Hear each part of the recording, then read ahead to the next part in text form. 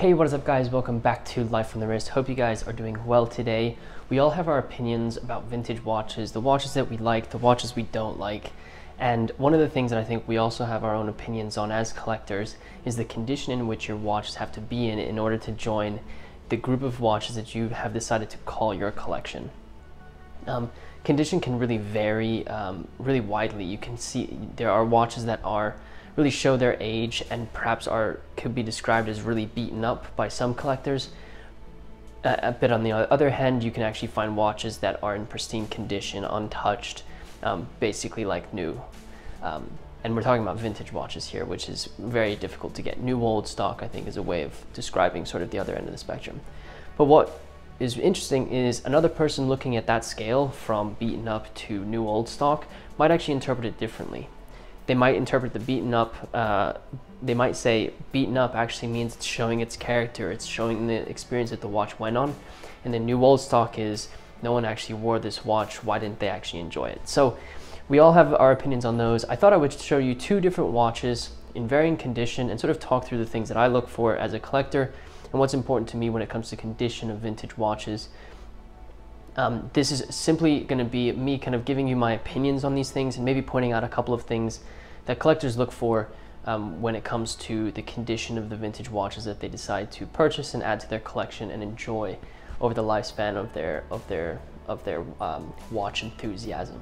So uh, I'm gonna I'm gonna do one of those um, over-the-shoulder uh, looks. So I'm gonna have the two watches uh, in front of me. We can kind of talk through a couple of things about these two specific watches. The two watches I'm gonna be looking at is um, the first one is the Le Coultre Memovox that we just got in for our store, and the other one is the Caravelle uh, Diver which is also available in our store. They both have varying condition to them, and so I think it's a nice way to sort of compare these two watches and perhaps what people are looking for in them. Um, so without further ado, let me flip perspectives so you can take a look at these watches. All right, so let's take a look at these two watches um, that I have here in front of me and have a discussion about condition. So I think first I can sort of introduce the two pieces that I have here. This is a, the watch that I have here is a Caravelle um, diver that was produced um, in the, I believe, uh, in the 1970s. Has a real 70s sort of a vibe to it. Stainless steel watch with a bidirectional bezel. Has day and date complication. Um, and then a really interesting sort of seconds hand that has a plane at the end of it, which I think is the reason why I really love it. Um, the watch comes on this sort of 70s inspired strap, which is actually from Mito. So it's not the original strap that comes with this, or I guess bracelet that comes with this specific watch. Um, however, I do think it keeps the um, sort of aesthetics of this specific piece in check with the era that it's from. If you look at it on the wrist, you can really see it, it, it fits the sort of stylistic elements that I think the 1970s really bring out. So that's the first watch we're going to be looking at. The second watch we're going to be looking at is this um, Le Coultre um, Memovox, which is an alarm, a mechanical alarm watch produced by Le Coultre. And um, one of the reasons why I included this is I actually think the condition of this watch is absolutely impeccable, um, especially from a dial perspective. So I think this is a good way of sort of um, good, good comparison here. So as I mentioned in the introduction of this video, condition of watches um, can vary. You can have watches that look extremely, uh, that are in extremely good condition um, with very little signs of wear, and then you can have watches that have a little bit more wear. If we look at this Caravelle Diver, one of the things that you'll probably notice of it, about it is you can see that the dial has a couple of um, spots on them, kind of like stars. Um, another thing you'll probably notice is if you look at the hours and, and, and minutes hand, you'll notice that some of the luminescent material has actually fallen off. And so it's actually, um, there. you could describe that as there's holes in the hours and minutes hand. If you look at the overall condition of the case, um, you can see a little bit of wear, some scratches here and there. Um, so definitely a, a, it's been it's been used, but I wouldn't say it could be described as abused. Now, one of the things that I think about when I look at this watch is this is this watch shows its character. It shows its age, and it definitely um, kind of has come on a journey since its its production. If you look at this Le Coultre here, I think this is sort of like the opposite end of the spectrum. You can see The dial of this watch is in extremely good condition. Um, it has patinaed to this really beautiful gold cream um, look to it. You can see a real gold gold hue to the sort of out, outer disc. And if you look at the inner disc, you can see sort of gold around the outsides of it, but a real nice sunburst silver look to the um, to the inner disc. Um, another thing to note, if you look at the, the overall condition of the case, I think would be described as a little bit better. It's 10 karat, um, 10 karat gold plating, um, but has fewer scratches and looks a little bit better cosmetically speaking than maybe the Caravelle um, does itself. So I guess the real question is, which one of these watches, um, from a condition perspective, would I be interested in looking at uh, as a potential collector? Um, I think the real the real conclusion of this is it depends on what type of collector you are and what is important to you. So I'll talk through maybe both sides of it. So from the Caravelle's perspective, one of the things that I look for in, in, vintage watches is I think the stories behind these watches are what make, make vintage watches an extremely important part of a, a collection. Knowing where they came from, knowing the history of the watch and the stories that they that it holds, I think is an important aspect of it. One of the things with the watch that has gone on some adventures is the fact that it will show signs of that adventure on it. The, the, the sort of speckled dial that it has tells a story about the watch. The luminescent material falling out of the hours and minutes hand tells a story about the watch. Even the fading of the red triangle on the bezel of this watch tells a story. And um, for me, it doesn't attach to the overall beauty that this watch actually holds. Um, if I think, if I look at a watch and I think it's beautiful, I think that's the most important part, uh, aesthetically speaking. Um, I think there's another sort of angle that you can go for it from a movement perspective. Um, I want the original movement, obviously. I think um, a service movement is, is fine, but I think a serviced movement is totally fine. But I personally like to know that the, the movement inside of this watch is as, as original as it was when it was originally produced. So that's a big factor for me, but it might not be a factor for you. If you want to overhaul the movement because it isn't telling time or came in a different condition, that's totally fine too. So I think the argument for a watch like this, at least from my perspective, is it's going to tell the story that the watch has been on.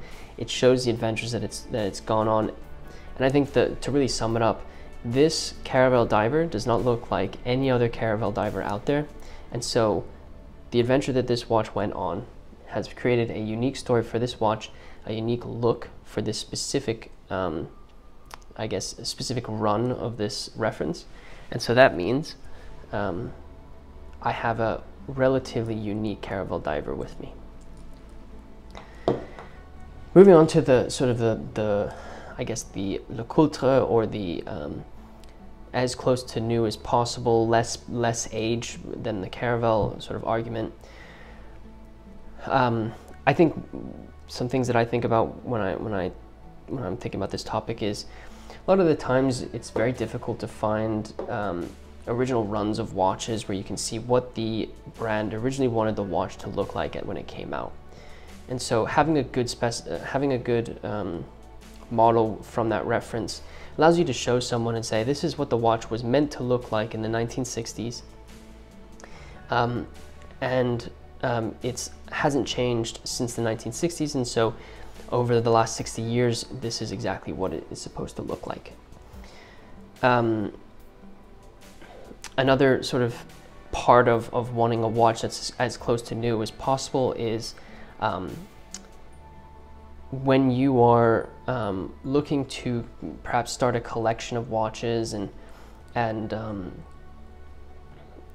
and are looking for specific um, models, you fall in love with the original um, sort of design of the of the model that you're looking for. So if I was looking for a Memovox specifically from this reference, I'd be looking for I, I, would fall in love with the fact that this case is, is beautiful gold, that the lugs sort of stand out nicely and integrate with the case. I would be looking for uh, signed crowns, which is what how they originally came um, and a watch that still has the normal hue of the original watch that I fell in love with. If you're able to find that, then you sort of tick all the boxes for a watch that should be that I want to be added to my collection. let's say this watch, maybe some of the gold plating had been coming off, the dial hadn't aged as, as um, evenly as this, you're really looking at a watch that has um, changed from its original design. And I think that's what a lot of people sort of, um, why a lot of people look for the watches that are in original condition or as close to original condition as possible. Um, another thing, just I mentioned it about the Caravelle, I'll mention it about this one as well. I think the movement sort of holds true as well. I want a movement that was originally produced for this specific watch um, and was meant to be running for, for this. I want the original pieces of it because again, it's as close to the original concept for this watch as possible. And I think that's a valid argument as well. So I guess I can sort of talk about it from a personal perspective. You know, which one of these would I have? Would I have the one that's as close to original as possible? Would I have the one that shows a little bit of age? It's a tough question for me because I, I see the validity in both. Um, I think, if anything, uh, I would be totally happy if, if I was able to get a watch in original condition or that shows its age. I see the benefits of having a watch that's in original condition, but I also see the beauty in something that shows its story and age and, and, um, and is almost a little bit more unique than than sort of the other reference or the other models in this specific reference. Um, so for me, I'd say it depends. It depends on the watch. It depends on the purpose of the watch when it when I'm adding it to my collection. But I think at the end of the day, you have to figure out what type of collector are you. Do you want to have something that shows its age and tells a story? Do you want something that can tell the story about the original intent of that watch? Um, I think that's really just totally up to you. Um, regardless, um, I think you're going to enjoy the watch that you uh, have the opportunity to own, to wear, um, or not wear. Um, but as a collector, I think you might want to just think about this sort of concept and topic um, before diving into um, purchasing a watch because you want to be happy with the, with the, with the purchase that you make. I hope this helped sort of walk through uh, some of the things that I think about when I'm when I'm thinking about the condition of a watch. Um, let me flip perspective so we can close out the video. I hope you guys enjoyed looking at the condition of these two watches and engaging in a discussion about what is important to collectors when it comes to the condition of the watches that they're looking for um, for their collections. As I said repeatedly, this is really a personal preference. If you like watches that show a little bit more age, or perhaps don't mind uh, the the polished an odd polished lug, that's up to you. Um, but if you like um, pristine condition watches that are basically new old stock, um, that have all original parts, that's totally up to you as well. Um, at the end of the day, it's your hobby. You should enjoy the watches that you the way you want to, and so, um, and so if that's the case, you should just make sure you find the watches that you're able to in, in the condition that you want them to be in. If you are new to Life on the Wrist, be sure to hit the subscribe button to join the Life on the Wrist family. We do a range of videos about watches, so be sure to check out some of the other videos. Um, so, and let me know in the comment section below what you thought about this video. I'd love to hear your thoughts and engage in a conversation about what you think is important when it comes to the condition of vintage watches. If you wouldn't mind smashing that like button for us for our YouTube analytics, it really does help us out. And with that said, guys, thank you so much for watching this video, and until next time.